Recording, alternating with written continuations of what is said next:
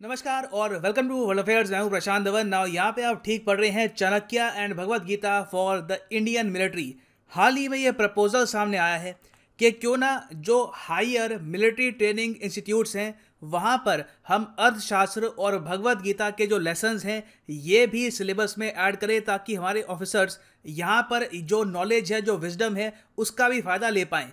Now जो ये idea बहुत ही इंपॉर्टेंट है। नाउ इनिशियली आप सोचोगे वेट अर्थशास्त्र। अर्थशास्त्र इकोनॉमिक्स से रिलेटेड नहीं है तो मिलिट्री ऑफिसर्स को अर्थशास्त्र पढ़ने की आवश्यकता क्यों है? देखिए, अर्थशास्त्र सिर्फ़ इकोनॉमिक्स से रिलेटेड नहीं है। अर्थशास्त्र में आचार्य चाणक्य ने स्टेट क्राफ्ट मतलब के कंट्री को मैनेज कैसे करना है इकोनॉमिक पॉलिसी और मिलिट्री स्ट्रैटेजी के बारे में बहुत ही इंपॉर्टेंट बातें लिखी हैं। और अर्थशास्त्र के बारे में तो मैं ये कहूँगा कि ये हमारी इंडियन हिस्ट्री का एक खजाना है। और आज के समय हम लोग लकी हैं कि हम एक ऐसे युग में जी रहे हैं जहाँ पर हमारे पास ये बुक इजीली पढ़ने को अवेलेबल है। क्योंकि आप लोग जान के हैरान होंगे, मगर ये किताब बारहवीं सेंचुरी के बाद गायब हो गई थी। इट डिसअपियर्ड इसके स्क्रिप्चर्स बिल्कुल गायब हो गए थे। इसको रीडिस्कवर किया गया था 1905 में और उसके बाद से लगातार इसकी पब्लिकेशंस हुई हैं। तो इसलिए यहाँ पर मैं कहूँगा कि आज के समय हम लोग लकी हैं कि हम उस जनरेशन में आते हैं जो बहुत ही आसानी से इंडियन हिस्ट्री के ग्रेटेस्ट स्ट्रैटेजिस्ट आचार्य चाणक्य द्वारा लिखी गई किताब प्रॉपरली पढ़ सकते हैं। क्या ये तो है अर्थशास्त्र। जो दूसरी बुक यहाँ पे रिकमेंड करी गई है, भगवत गीता। ये अपने आप में इसके बारे में क्या कहूँ मैं? ये अल्टीमेट किताब है। अगर एक ह्यूमन बीइंग खुद पर कंट्रोल पाना चाहता है, अपनी लाइफ में डिसिप्लिन आना चाहता है तो this is the ultimate book for that Gandhi ji ने कहा था कि जब भी मेरे माइंड में डाउट्स आते हैं, मैं समझ नहीं पाता कि मुझे करना क्या है। मैं भगवत गीता के पास ही जाता हूँ, वहाँ से मुझे दिशा मिलती है कि मुझे क्या करना है। और ओवर द ईयर्स आप अगर देखो तो इंडियन आर्मी के वेरियस मेजर जनरल्स ने ओपनली ये कहा है कि भगवत गीता अपने आप में एक मिलिट्री मैनुअल है। सबको ये किताब पढ़नी चाहिए स्पेशली आर्मी ऑफिसर्स को। अब अगला सवाल यहाँ पर आप ये पूछेंगे अच्छा ठीक है तो रिकमेंडेशन आई है कि इन दो बुक्स के जो चैप्टर्स हैं या फिर ओवरऑल इन बुक्स को ही हम इंडियन मिलिट्री के ऑफिसर्स के जो सिलेबस है, उसमें ऐड कर दें। मगर ये रिकमेंडेशन कहाँ से आई है और क्या ये ऑलमोस्ट डन है, क्या ये होने वाला है? तो इसका आंसर है नहीं, देखो।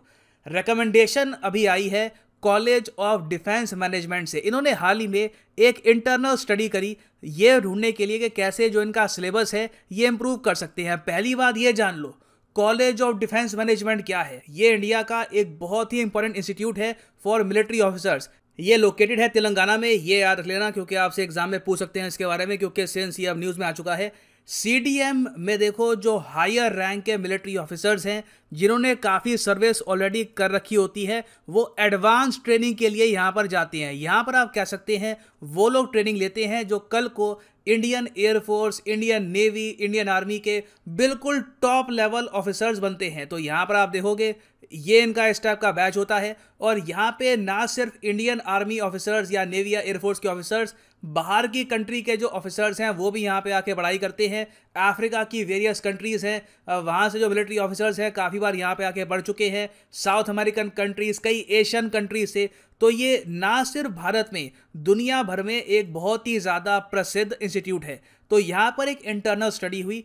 उस इंटरनल स्टडी में रिकमेंड किया गया कि इन द फ्यूचर हम यहाँ पर भगवत गीता और आचार्य चाणक्य की जो किताब है, अर्थशास्त्र, इसके चैप्टर्स हम ऐड कर सकते हैं सिलेबस में। इससे हमारे जो ऑफिसर्स हैं उनको फ़ायदा होगा डिसीज़न मेकिंग में उनको हेल्प मिलेगी, क्योंकि यहाँ पे आपको देखना होगा, ये जो सब लोग हैं, ये आप कह सकते हैं, भारत की मिलिट्री पावर का ब्रेन है।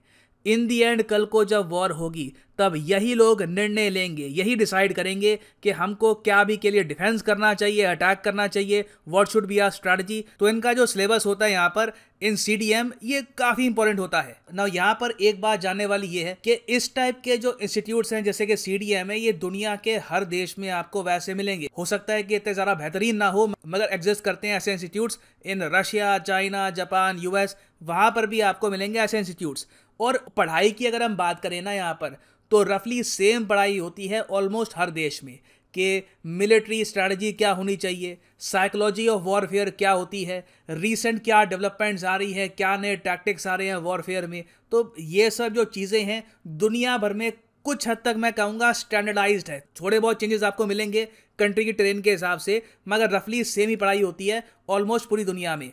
मगर कई देश हैं जिन्होंने इस स्टैंडर्डाइज सिलेबस में अपनी कंट्री की जो स्पेशल बुक्स हैं, वो भी ऐड कर रखी है। फॉर एग्ज़ाम्पल मैं आपको बताता हूँ, रशिया में एक बहुत ही फ़ेमस किताब है, जो हर रशियन आर्मी जनरल पढ़ता है। एक्चुअली ना सिर्फ़ इनका आर्मी जनरल एयरफोर्स नेवी का जो यहाँ पे इनके टॉप लेवल ऑफिसर्स होते हैं, उनको भी कहा जाता है कि आपको ये किताब पढ़नी है। किताब का नाम क्या है? किताब का नाम है यहाँ पर फाउंडेशन ऑफ़ जियो पॉलिटिक्स ओचिन इंतरसनिया कनीगा बहुत अच्छी किताब है, बहुत इंटरेस्टिंग किताब है और इस किताब में जो बेसिक बात करी गई है, वो है अखंड रशिया के बारे में। जिस तरीके से हम बात करते हैं ना अखंड भारत की, कि एक दिन भारत का प्रॉपर तरीके से हम विस्तार करेंगे, बहुत सी और कंट्रीज़ मर्ज हो जाएगी इंडिया में। वैसे ही रशिया का यहाँ पर थॉट है कि पूरा यूरेशिया ना सिर्फ़ एशिया इनका सपना बहुत बड़ा है। ये ड्रीम करते हैं कि एक दिन पूरा वेस्टर्न यूरोप पोर्टुगल से लेकर नीचे इंडिया ये सब इन्फ्लुएंस में होगा रशिया के, और पूरे यूरेशिया में ये बनाएँगे। एक रशियन एम्पायर तो ये एक बहुत अच्छी किताब है on geopolitics military strategy ये सबको रीड करवाती है। तो इसी तरीके से हर कंट्री में ना स्पेशल बुक्स मिलेंगी आपको जो उसी कंट्री से निकली है, जो अपने आर्मी ऑफिसर्स को वो पढ़वाते हैं। तो इंडिया में देखो, ये कल्चर इतना है नहीं। हमारा जो आप देखोगे सिलेबस वो काफ़ी हद तक वेस्टर्नाइज्ड है। और अब जाकर हम 2021 में सोच रहे हैं कि हमारे देश से जो बड़े मिलिट्री स्ट्रैटेजिस्ट निकले हैं, आचार्य चाणक्य, उनकी जो टीचिंग्स हैं, वो भी तो मिलनी चाहिए हमारे आर्मी ऑफिसर्स को। मगर अब इस आइडिया को लेकर कॉन्ट्रोवर्सी खड़ी हो गई है। अभी के लिए देखो, जो ये रिकमेंडेशन है, इस पर भी अभी काफ़ी डिस्कशन होने थे। ये रिकमेंडेशन भी अभी ऑफिशियल थी नहीं, ये बस एक रिपोर्ट में लिखा था कि ऐसा हम कर सकते हैं, मगर अभी से ही इस प्रपोजल पर कॉन्ट्रोवर्सी स्टार्ट हो चुकी है। कॉन्ट्रोवर्सी ये है कि फॉर एग्जांपल जो कांग्रेस पार्टी है इंडिया में, इन्होंने यहाँ पर ये कहा, इनके जो स्पोक्समैन है के के मिश्रा, इन्होंने यहाँ पर रिसेंटली ये कहा है कि देखिए आर्मी को सेकुलर रखो यहाँ पर अर्थशास्त्र और गीता को ऐड मत करो। इन्होंने यहाँ पर यह कह दिया कि कारगिल वॉर जो इंडिया ने रिसेंटली जीती थी अगेंस्ट पाकिस्तान वहाँ पर मुस्लिम सोल्जर्स ने भी हेल्प करी थी जो काफ़ी ऑब्वियस बात है।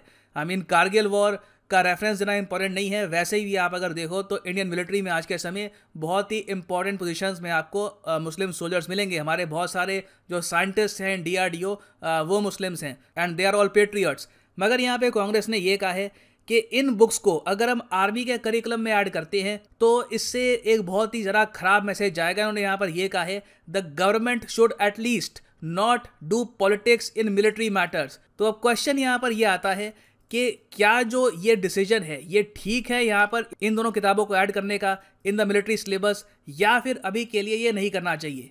ना इनकी जो ये स्टेटमेंट है, इसके पीछे भी एक रीज़न है। रीज़न यहाँ पर यह है कि कुछ समय पहले एक फेक न्यूज़ सामने आई थी। न्यूज़ असली नहीं थी, मगर एक ऐसे हवा में बात फैल गई कि जो national institute of open school है एनआईओएस उसने ये डिसाइड किया है कि ये लोग अपने सिलेबस में, अपने करिकुलम में, ये लोग गीता और रामायण को ऐड करेंगे और ये जो मदरसाज है, वहाँ पर ही पढ़ाई जाएगी। अब ये काफ़ी कॉन्ट्रोवर्शियल डिसीज़न था। बाद में एन ने बोला कि कुछ हम ऐसा नहीं कर रहे, ये जिसने भी ये खबर फैलाई है, गलत है। मगर इनिशियली जब ये खबर फैल गई तो वर्ल्ड मीडिया ने इसको काफ़ी कवर किया। यहाँ पे आप देख पाओगे जर्मनी की जो डी डब्ल्यू न्यूज़ है उसने भी इसको कवर किया। और इंडिया में भी बहुत सारे जो मुस्लिम्स हैं वो गुस्सा हो गए कि ये ऐसा क्यों किया जा रहा है? अगर ऐसा करना है तो जो कुरान है ये भी मैंडेटरी करो। ये इशू इन द पास्ट जब सामने आया था तो बिल्कुल आ, कुछ प्रॉब्लम्स क्रिएट हुई थी मगर the military is a different domain altogether तो यहाँ पे मैं इन दी एंड आपसे पूछना चाहूँगा कि आपके हिसाब से मिलिट्री करिकुलम में इन दो किताबों को ऐड करना चाहिए या फिर नहीं। अगर नहीं ऐड करना चाहिए तो प्लीज़ अपना जो रीजन है, ये भी लिखिएगा। I am sure all of us would like to have a healthy discussion on this in the comment section और फाइनली पर मैं ये भी ऐड कर दूँ कि आप किसी भी एग्ज़ाम की तैयारी कर रहे हैं, चाहे S S C UPSC bank any examination simply जाओ अन अकेडमी डॉट कॉम पर और यहाँ पे आप परचेज कर सकते हैं the exam of your choice ना फॉर एग्ज़ाम्पल आपको सिर्फ़ यूपीएससी ऑप्शनल की तैयारी करनी है। यूपीएससी प्रीलिम्स और मेंस की तैयारी आपकी हो चुकी है। तो सिंपली यहाँ पर क्लिक करो ऑन ऑप्शनल और यहाँ पे आप खरीद सकते हैं ये कोर्स नाउ ये जो कोर्स है, इसकी ड्यूरेशन भी यहाँ पे आपको मिल जाएगी। आपके पास ऑप्शंस होंगे। आप परचेज कर सकते हैं 24 मंथ 36 मंथ कोर्स 24 मंथ का जो कोर्स है, सिर्फ़ यूपीएससी ऑप्शनल का। ये आपको पड़ेगा सिर्फ़ sixteen hundred and sixty seven rupees per month मगर ये प्राइस भी पे मत कर देना। यूज़ करो यहाँ पे promo code P D ten and the price shall fall so use the code P D ten and save your hard earned money so इसी नोट के साथ। ये है यहाँ पर video Kant thank you for listening and as always God bless you all